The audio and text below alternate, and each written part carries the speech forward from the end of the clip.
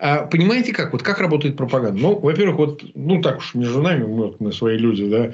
Ну, вот я в украинской журналистике даже примера такого не знаю, похожего на Скобеева. Разные люди есть, были там, у Медведчука некоторые работали, все. Но все-таки примеры такого дебиловатой тети с Волжска, сама из Волгоградской области, я уж не знаю, понимаете, это не в провинции в нашем даже понимании. Это вот отбитая совершенно чума такая, понимаете, деревенская, которая вот вылезла на экран и своим, значит, вот этим ящиком, морда ящиком, значит, что-то вещает. То есть, э, я просто удивлен, когда высоко оценивают. Ну, да, она как пропагандистом, понимаете. По мне, так набитая дура в принципе, но со всеми ее репликами и так далее. При том, что, может, и нехорошо так высказываться, но, но мы же это видим, потому что все это людоедское. Это направлено на то, что давайте кого-нибудь убьем.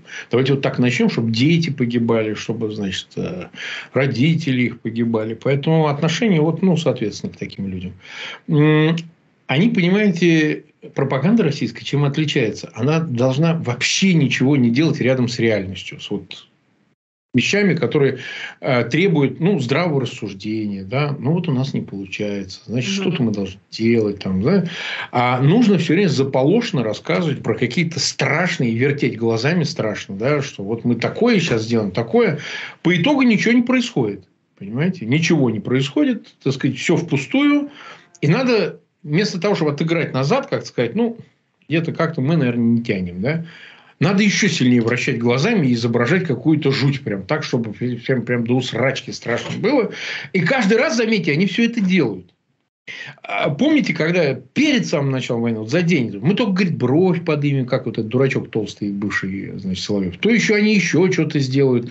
Ну, давайте уже, наконец, дойдите до Киева, возьмите его за три дня, сделайте это. Но если вы не в состоянии это сделать, никакой другой аттестации, что и в армии ваша никакая, не то, что не вторая, она вообще говно. Ваша армия, равно как и вы, как пропагандисты ее, вы ее довели до этого состояния, потому что превратили ее просто в манкуртов, которые не понимают, за что они воюют, не знают, зачем это все делается. А зачем вы это делаете? Вот хорошо, вот в Киеве что вы хотели? Просто убить людей, как вы убивали?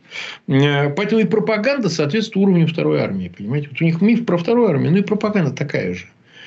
Она в чем-то эффективна, когда она выигрывает, когда она не проигрывает. Они могут все объяснить, они могут выиграть, там, знаете, бравурно как-то, грозно.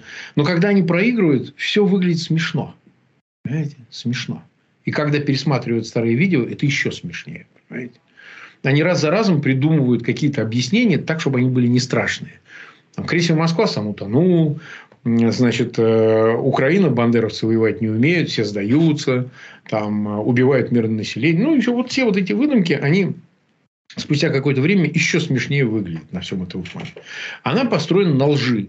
А, такой лжи, которая не допускает ни слова правды. Вот это очень важно. Безусловно, конечно, Украина тоже какие-то, может, вещи замалчивать, какие-то специально даже троллить. Безусловно, и, конечно, но все равно не отменяем то, что Россия является, в общем-то, диктатурой, тоталитарной уже диктатурой. Да, она была авторитарной, но сейчас элементы уже тоталитарные абсолютно утвердились. Вот, остаются последние лакуны, которые еще позволяют частным свободам существовать. Они вмешиваются даже в частную жизнь сексуальную. Что уже говорить там о какой-то распространении или обмене информацией. Э, поэтому пропаганда государства, она вся должна быть замешана на лжи. В ней не должно быть ни слова правды. И с этой точки зрения им очень легко в этом существовать, поскольку значит, ты только лги и все, и больше ничего не делай. Ну, вот включите Коношенко в любой репортаж. И, как бы ничего больше нет. Просто он сам постный такой, понимаете? И поэтому он не производит того впечатления. А эти поэмоциональнее. И поэтому их обсуждать поинтереснее, чем Коношенко. Но, в принципе, суть та же. Суть та же, и не случайно они проигрывают в информационной войне. Ну, казалось бы, у вас такая машина, вложена миллиарды долларов, вы же должны быть эффективнее. Ну, казалось бы, что не, не, не украинским же СМИ там, или пару очкариков, блогеров и таких же там могут они переплюнуть вас. А вот поди ты. А ответ здесь, знаете, какой? Одни говорят, э, как все на самом деле, а другие э, гонят вот эту лажу. Вот и все. И это всегда проигрывает. Всегда. При Геббельсе тоже пропаганда проигрывала. Когда начала проигрывать э, страна.